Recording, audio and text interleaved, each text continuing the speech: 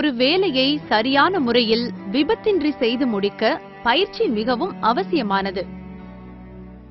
மேலும் நிர்ணயித்த உற்பத்தியை எளிதாக அடையவும் வேஸ்டின் அளவை குறைக்கவும் பயிற்சி நமக்கு உதவுகிறது.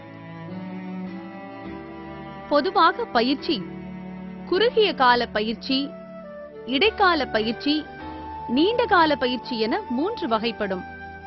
இவை அனைத்தும் பகுதி ஆய்வு பயிற்சி முறையில் கற்பிக்கப்படுகிறது. பகுதி ஆய்வு பயிற்சி என்பது ஒரு வேலையை சிறு சிறு பகுதிகளாக பிரித்து பயிற்சி பெறுபவர்களுக்கு எளிமையாக சொல்லிக் கொடுத்து அனைத்து பகுதிகளிலும் நல்ல திறமையை வளர்த்த பின்னர் பகுதிகளை ஒன்று சேர்த்து முழு வேலையையும் கற்பிக்கும் முறையாகும். இனி பயிற்சி அளிக்கும் முறை எவ்வாறு என்று பார்ப்போம். முதலில் வேலையை பற்றி விளக்குதல். அதன்பின் வேலை முறையின் முக்கிய பகுதிகளை அடையாளம் காட்டுதல். பின்பு வேலை முறையின் முக்கிய அசைவுகளை செய்து காட்டுதல். பயிற்சி பெறுபவரை இலக்கு அடையும் வரை பயிற்றுவித்தல். சிறு சிறு பகுதிகளை ஒன்றிணைத்து வேலை முறையை முழுமையாக்குதல். இறுதியாக பயிற்சி பெறுபவர்களை கவனித்து வேலை முறையில் உள்ள குறைகளை சரிசெய்து உற்பத்தியை பெருக்கி முழு தரத்துடன் இலக்கை அடையச் செய்தல். இப்படித்தான் பயிற்சி முழுமை பெறுகிறது.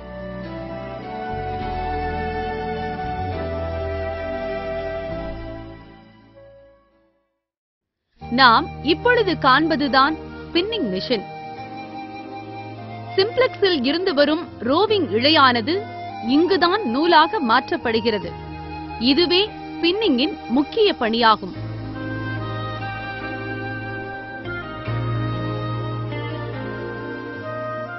ரிங் ஸ்பின்னிங் இரண்டு வகைப்படும். ஒன்று சாதாரண ரிங் ஸ்பின்னிங். மற்றொன்று காம்பாக்ட் ஸ்பின்னிங். இனி ஸ்பின்னிங் மெஷினுடைய பாகங்கள் மற்றும் அதன் செயல் அம்சங்களை காணலாம்.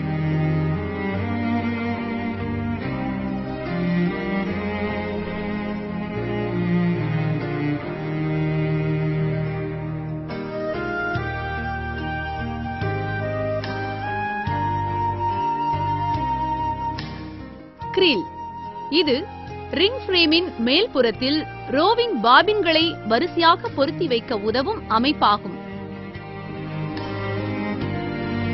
Bobbin holder. பாபினை பிடித்துக் கொண்டு அதை எளிதாக சுழற்ற உதவுகிறது. Roving guide rod. Roving unwinding ஆகும் போது தேவையான டென்ஷன் கொடுக்க உதவுகிறது.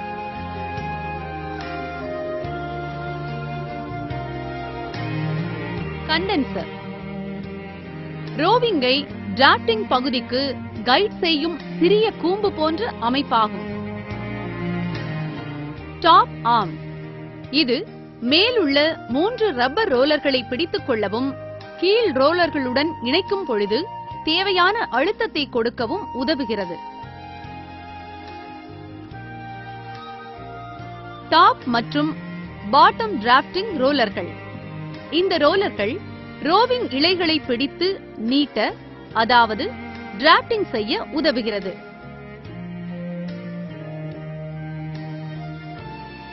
ஏப்ரான். டிராப்டிங்கின் போது இலைகளை முதல் ரோலருக்கு எடுத்துச் செல்ல உதவுகிறது. கிரேடில். இது டாப் ஏப்ரானை கைட் செய்ய உதவுகிறது. பேசர். டாப் மற்றும் பாட்டம் ஏப்ரானுக்கு தேவையான இடைவெளியை ஏற்படுத்த உதவுகிறது. Nose bar. பாட்டம் ஏப்ரானை கைட் செய்து இலைகள் கீழே வராமல் தடுக்க உதவுகிறது. Pneumafil tube. நூல் அறுபடும் போது வரும் பஞ்சுகளை உறிஞ்சி நியூமோஃபில் பாக்ஸுக்கு எடுத்துச் செல்ல உதவுகிறது.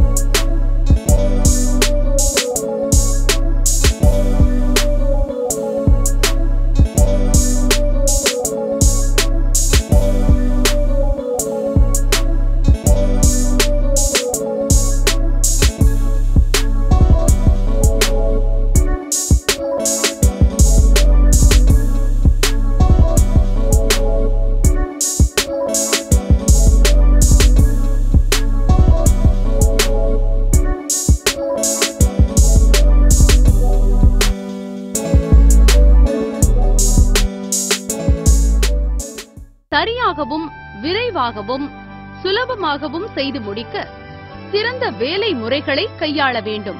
அப்போதுதான் நமது உற்பத்தி திறனை மேம்படுத்த முடியும்.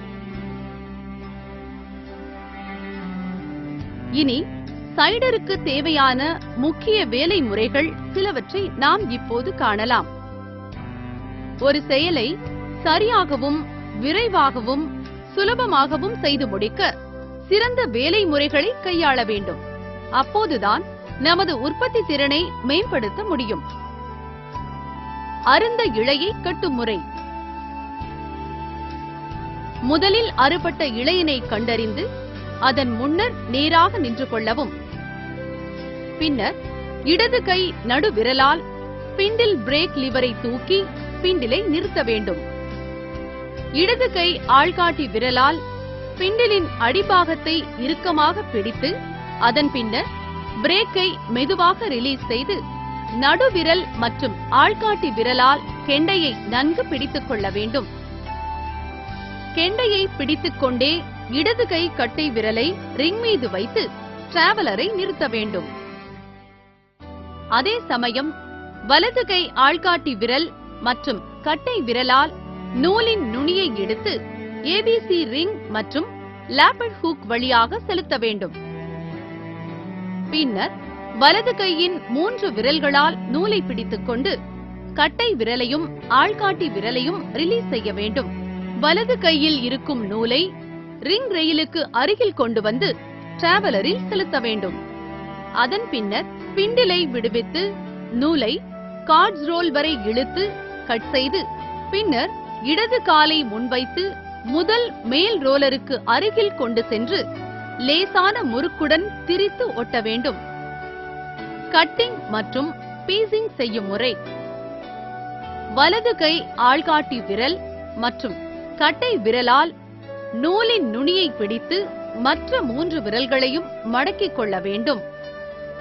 பின்னர் இடது கை கட்டை விரலை மேல் நோக்கியும் மற்ற நான்கு விரல்களை நீட்டி வலது கைக்கு சமமாகவும் வைத்துக் கொள்ள வேண்டும். பின்னர் வலது கையில் உள்ள நூலை இடது கைக்கு மாற்ற வேண்டும்.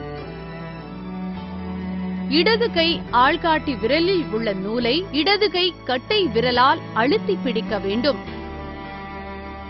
அப்போது ஆள்காட்டி விரலும் கட்டை விரலும் சமமாக இருக்க வேண்டும். வலது கை கட்டை விரலை மேல் நோக்கியும் ஆள்காட்டி விரலை நீட்டியும் மற்ற மூன்று விரல்களை மடக்கியும் தயாராக வைக்க வேண்டும்.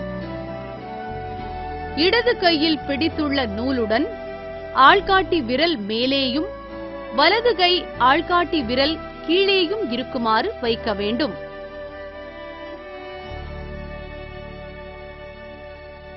இப்பொழுது வலது கை கட்டை விரலால் ஆள்காட்டி விரல் மேல் உள்ள நூலை அழுத்தி பிடிக்க வேண்டும். பின்னர் இடது கையை கொஞ்சம் முன்னால் தள்ளி நூலை கட் செய்ய வேண்டும். கட் செய்த நூலின் அளவு பத்து மில்லிமீட்டர் வரைதான் இருக்க வேண்டும். பின்னர் இடது காலை முன்வைத்து கார்ட்ஸ் ரோலில் இருந்து வெளியில் வரும் பஞ்சுடன் லேசான முறுக்குடன் திரித்து இணைக்க வேண்டும். அதன் பின்னர் இடது கையில் உள்ள நூலை இடுப்பு பையில் போட வேண்டும்.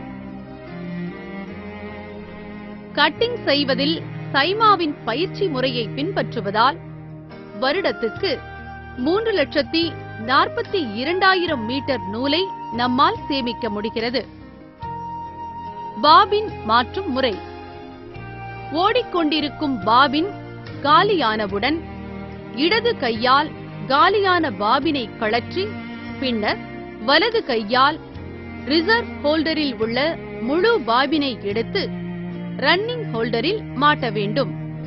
பின் இடது கையில் உள்ள காலி பாபினை ரிசர்வ் ஹோல்டரில் மாட்ட வேண்டும். பாபினில் இருந்து ரோவிங் இழை நுனியை வலது கையால் எடுத்து ஜே கைட் மற்றும் கைட் ராட் வழியாக செலுத்த வேண்டும். வலது கையில் உள்ள ரோவிங்கின் நுனியை இடது கையின் உதவியுடன் கட் செய்து கண்டென்சர் வழியாக டிராப்டிங் ரோலருக்கு செலுத்த வேண்டும். பின்னர் சரியான பாதையில் அதாவது பின் ரோலருக்கும் நடு ரோலருக்கும் இடையில் வருமாறு சரி செய்து பின் இழை கட்டி விட வேண்டும்.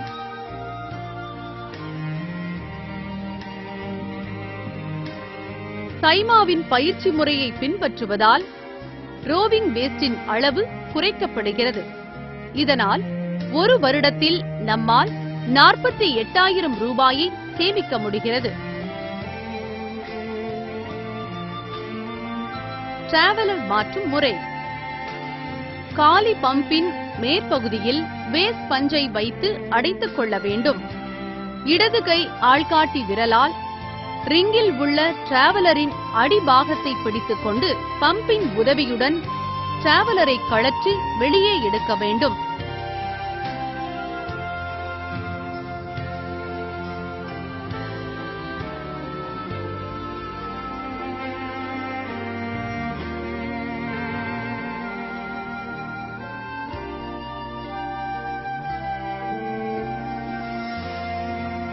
எல்லா டிராவலர்களையும் கழற்றிய பின்னர் புதிய டிராவலர்கள் கொண்ட பாக்கெட்டில் இருந்து தேவையான அளவு டிராவலர்களை இடது கையில் எடுத்துக்கொள்ள வேண்டும்.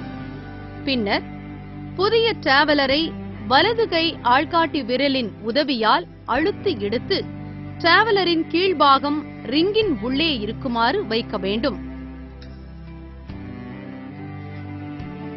டிராவலரின் அடிபாகத்தை வலது கை ஆள்காட்டி விரலால் அழுத்தி பிடித்துக் கொண்டு கட்டை விரலால் மேல் பாகத்தை உள்ளே இழுத்து விட வேண்டும்.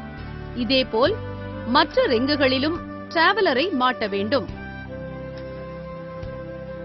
வேஸ்டுகள் அதாவது கழிவாக வரும் பஞ்சுகள். நமது கவனக்குறைவினாலும் எந்திர குறைபாட்டினாலும் ஸ்பின்னிங் டிபார்ட்மெண்டில் நூலாக மாற்றப்பட வேண்டிய பஞ்சுகள் சில வேஸ்டுகளாக மாற்றப்படுகிறது.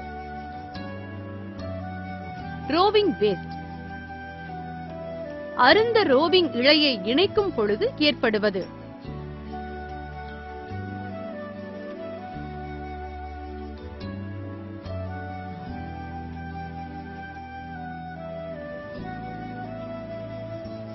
Pneumafil waste. நூல் அறுபடும் போது முதல் ரோலரில் இருந்து வெளியே வரும் பிரிக்கப்பட்ட ரோவிங் இழைகள் சக்ஷன் டியூபினால் உறிஞ்சி சேகரிக்கப்படுவது நியூமாபில் வேஸ்ட் எனப்படும். போண்டா வேஸ்ட். டிராப்டிங் அமைப்பில் உள்ள மேல் மற்றும் கீழ் டிராப்டிங் ரோலர்களில் சுற்றிக்கொள்ளும் பஞ்சு போண்டா வேஸ்ட் எனப்படும். Cut roll waste.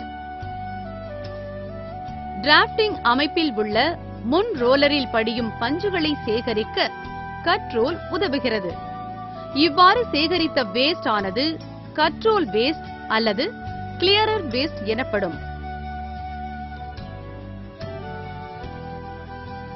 நூல் வேஸ்ட் அருந்த நூல் இழைகளை சரி செய்யும் பொழுது சிறிதளவு நூல் கட் செய்யப்படுகிறது.